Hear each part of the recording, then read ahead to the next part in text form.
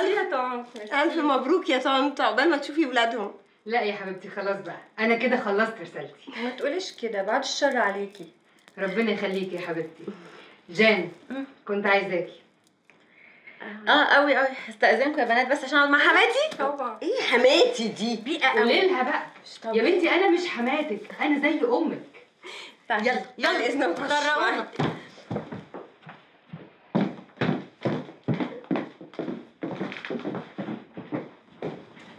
الست دي شكلها طيبه قوي بس جان إيه مش هتتوصل حرام عليها. ما هو ابنها الوحيد أكيد متعلقة بيه برضه. صح ابنها. بس جايز تكون مريضة بيه؟ ما أعتقدش. شكلها ست عاقلة جدا. على وليه مفيش رقص وهيصة كده؟ مش عارفة.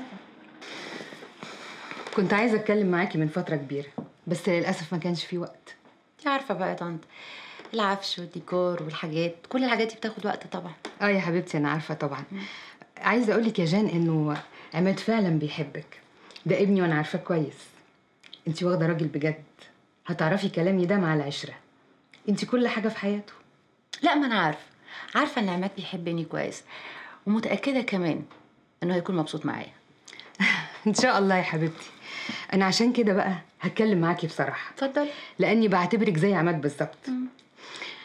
أنا حاسة يا جان إن انت حاطة حاجز ما بيني وما بينك. معرفش بتعامليني رسمي قوي. وبعدين مش بنتكلم مع بعض زي أي اتنين. يعني كنت بقول كده احتمال يوم من الأيام الحاجز ده يتكسر ونتكلم مع بعض بس للأسف ده ما حصلش. علشان كده قررت النهارده إني أتكلم معاكي. وأكسر الحاجز ده بإيديا. أنا عايزة أفهمك إن أنا زي أمك. يعني لو عماد عمل لك أي حاجة أو ضايقك وطبعا ده مش هيحصل وأنا متأكدة تكلميني على طول وتيجي تقعدي معايا. انت عارفة إن أنا ما عنديش بنات. وانت زي بنتي بالظبط. هو في حاجة يا طنط؟ يعني أنا من ساعة ما عرفت عماد في حاجة مضايقة حضرتك؟ لا يا حبيبتي مفيش حاجة. طيب يبقى أنا صح بقى. بصي يا طنط كتر الكلام بيعمل مشاكل كتير قوي. علشان كده أنا حابة إن يبقى ده شكل العلاقة بيني وبين حضرتك. وفي سبب تاني لا حضرتك عمرك هتكوني أمي ولا أنا عمري هكون بنتك. ليه كده يا حبيبتي؟ علشان دي الحقيقة. عماد مش هيبقى زي أمجد عند بابا وماما. بعدين أنا مش هكدب عليكي ومش هقولك كلام مش حقيقي. أنا مش هتدخل ابدا في العلاقة بينك وبين عماد. خالص ماليش دعوة بالموضوع ده خالص. بس اللي حضرتك لازم تستوعبيه إن عماد حياته اتغيرت. يعني هو داخل على جواز مش هيبقى فضيلك على طول. حياته هتتغير. زي بالظبط أنا كمان حياتي هتتغير. مش فاهمة. ما تفهميني أكتر. لا هو في الحقيقة كده أنا مش هقدر أفهمك. تهيألي الأيام كفيلة إنها تفهم حضرتك. أنت شايفة كده؟ طبعا أكيد. معلش سوري يا طنط عشان أنا صاحباتي كده سايباهم لوحدهم. على إذنك. بيت بيتك.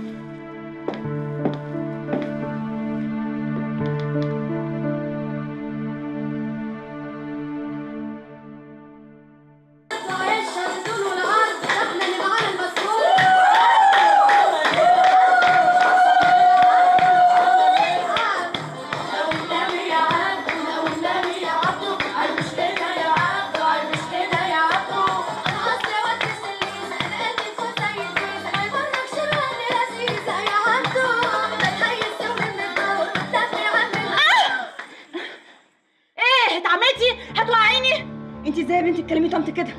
أنا اسفه أنا ما كنتش اقصد. انت كنتي هتوقعيني على وشي على فكرة. بس برضو ما ينفعش كده. خلاص يا مامي تعالي.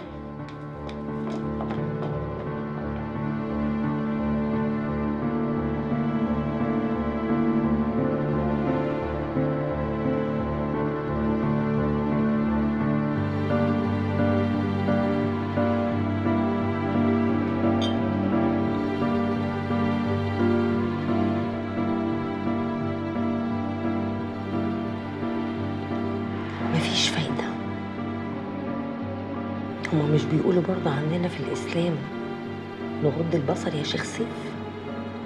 إيه غض البصر يعني؟ بعدين قلت لك من الأول أنا مش عايز أنزل. أنت اللي اصريتي إن إحنا نيجي. مفيش حاجة يعني. أنا ما زعلتش. أنا أنا بس بقى ازعلك أنا ابتديت أتضايق من طريقتك دي. أنا عايزة أروح. يلا.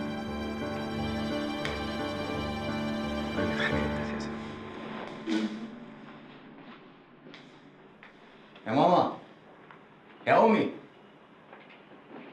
يا أمي. انت عينها جميل. عامل إيه؟ تخيلي تخيلي تخيلي العيال النهارده سهروني في كباريه. انبسطت يا حبيبي؟ يعني انت انت انت عملت إيه في ليلة الحنة؟ مالك؟ يا ماما أنا مش هسيبك. أنا ماليش ماليش غيرك. لا لا لا لا. يا امي أنا هفضل جنبك على طول. أنا مش هحضر فرحك يا عمو.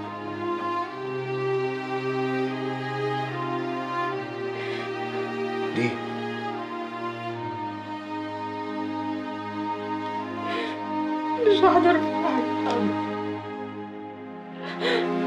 مش هقدر عمو مش هقدر افرحك مش هقدر فرحك يا عمو خلاص حضروا لا مش هقدر افرحك مش هقدر افرحك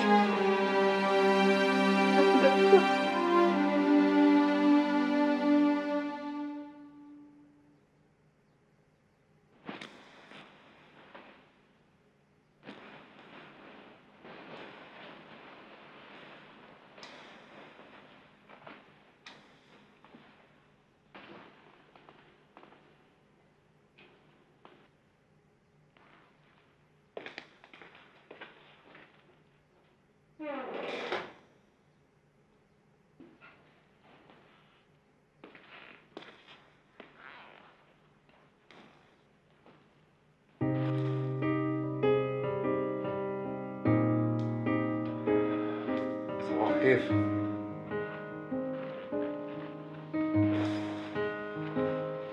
على فكرة أنا كنت بتفرج على درس دين. درس حلو جدا يعني لازم تشوفيه. ما سألتكش كنت بتعمل إيه؟ أنت هتعملي إيه النهاردة؟ ولا حاجة. عندي كام مشوار وطلع بعد كده على الجاليري. يا ريت تسيب لي فلوس قبل ما تمشي. يا حبيبتي الفلوس في الدرج خدي اللي أنت عايزاه.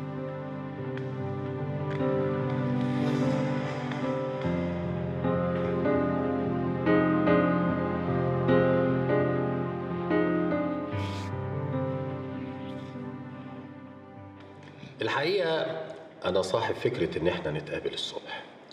يعني أنا بشوف إن الواحد الصبح بيبقى ذهنه أحسن ويقدر يفكر أفضل. ولا إيه يا زين؟ زين